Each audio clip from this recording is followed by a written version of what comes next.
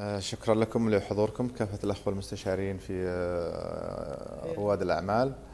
آه، أتمنى إن شاء الله أنه كل شبابنا في ينبوع وشاباتنا يستفيدون منكم ويستفيدون من تجاربكم ومن نصائحكم. ونشوف إن شاء الله